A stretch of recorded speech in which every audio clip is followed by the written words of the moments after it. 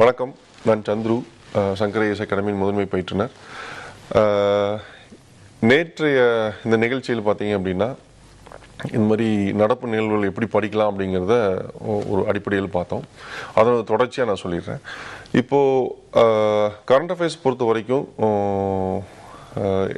எல்லாத்துக்கும் இருக்கக்கூடிய சவால் நான் ஏற்கனவே சொன்ன மாதிரி நியூஸ் பேப்பரில் வந்து நிறையா டைம் ஸ்பெண்ட் பண்ணுறது ஸோ இதுக்கு என்ன பண்ணலாம் அப்படின்னா சார் நான் இன்னமே வந்து நீங்கள் சொன்ன மாதிரி என்னால் அந்த கிளாசிஃபிகேஷன்லாம் பண்ண முடியல. எது தேவை எது தேவையில்லை அப்படின்லாம் பண்ண முடியல அப்படின்னா அப்போ நீங்கள் ஒரு விஷயம் பண்ணலாம். யூடியூப்பில் சங்கர் ஏஎஸ் அகாடமி அப்படின்னு சொல்லிட்டு நீங்கள் டைப் பண்ணிங்க.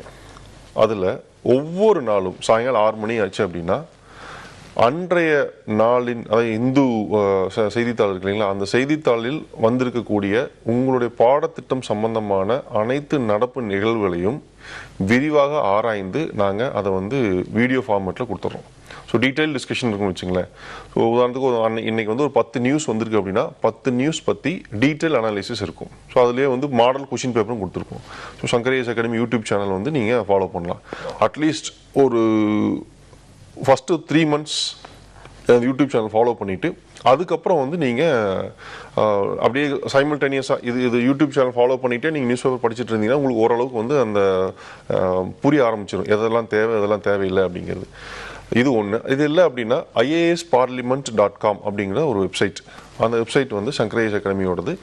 அந்த வெப்சைட்டில் பார்த்தீங்க அப்படின்னா அன்னைக்கு இப்போ உதாரணத்துக்கு இன்- இன்- இன்னைக்கு இருக்கக்கூடிய இன்னைக்கு ஐந்து ஆங்கில நாளேட்டிலிருந்து அதாவது Hindu Times of India Indian Express அதுக்கப்புறம் வந்து எக்கனாமிக் டைம்ஸ் பிஸ்னஸ் லைன். இந்த அஞ்சு நியூஸ் பேப்பர்லேருந்து சிவில் சர்வீஸ்க்கு தேவையான என்னென்ன நியூஸ் ஐட்டம்ஸ் வந்திருக்கோ அது எல்லாத்தையும் எடுத்து அதை கம்பைல் பண்ணி பேக்ரவுண்ட் இன்ஃபர்மேஷனோட டீட்டெயில் அனாலிசிஸோடு நாங்கள் அப்லோட் பண்ணுறோம் ஸோ அதுவும் வந்து உங்களுக்கு ரொம்ப ஹெல்ப்ஃபுல்லாக இருக்கும். ஒன்று நீங்கள் யூடியூப் சேனல் நான் வீடியோவாக வேணும்னு நினச்சிங்கன்னா யூடியூப் சேனலில் நீங்கள் எங்களோட கரண்ட் அஃபேர்ஸ் நீங்கள் ஃபாலோ பண்ணலாம். இல்லை சார் நான் வந்து டெக்ஸ்ட்டாக வேணும் அப்படின்னு நினச்சிங்கன்னா நீங்கள் வந்து ஐஏஎஸ் பார்லிமெண்ட்டில் பார்க்கலாம். ஸோ ரெண்டுமே வந்து கரண்ட் அஃபேர்ஸ்க்கு நாங்கள் சப்போர்ட் பண்ணுறோம் இது வந்து ஓப்பன் டு ஆல் யார் வேணாலும் பார்க்கலாம். எந்த ரெஸ்ட்ரிக்ஷனும் கிடையாது.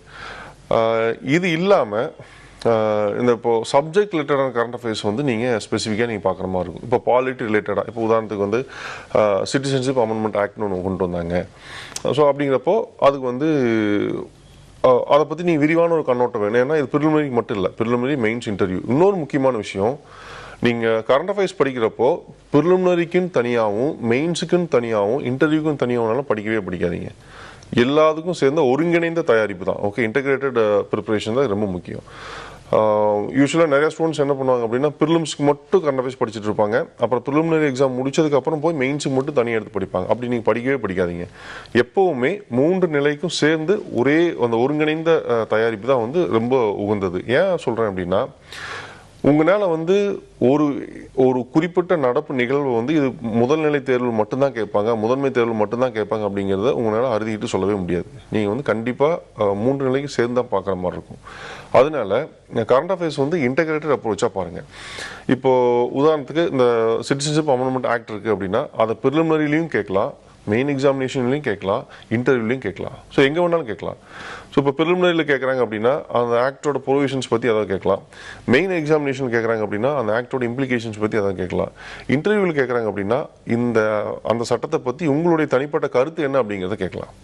ஸோ இந்த மூன்று நிலைகளிலையுமே ஒரே அந்த விஷயத்தை வந்து கேட்கறதுக்கான வாய்ப்பு இருக்குது அதனால மூணுக்கும் சேர்த்து நீங்கள் படிக்கிற மாதிரி பாருங்கள் இன்னொன்று நீங்கள் மூணுக்கும் சேர்த்து படிக்கிறப்ப தான் உங்களுக்கு வந்து அதை பற்றியான ஒரு விரிவான புரிதல் வரும். ஒரு காம்ப்ரிஹென்டிவ் அந்த காம்ப்ரிஹென்சிவ் அண்டர்ஸ்டாண்டிங் வரும். உங்களால் காம்ப்ரிஹென்ட் பண்ண முடியும். ஸோ அதனால அது ரொம்ப ரொம்ப முக்கியம். அதற்கடுத்து இந்த கரண்ட் அஃபேர்ஸ் கூட இன்டர்நேஷ்னல் ஆர்கனைசேஷன்ஸ் வந்து ரொம்ப ரொம்ப முக்கியமான ஒரு பாடம். இப்போ உதாரணத்துக்கு யுனைடெட் நேஷன்ஸ் அதுக்கப்புறம் வந்து இதர அமைப்புகள். இப்போ வந்து European Union WTO IMF UNESCO இந்த மாதிரி நிறைய இன்ஸ்டிடியூஷன்ஸ் இருக்கு. ஸோ இது வந்து இது சார்ந்த கேள்விகள்லாம் வந்து எப்படி கேட்காங்க அப்படிங்கிறது வந்து நாளைய விவாதத்தில் நம்ம விரிவாக காணலாம் நன்றி வணக்கம்.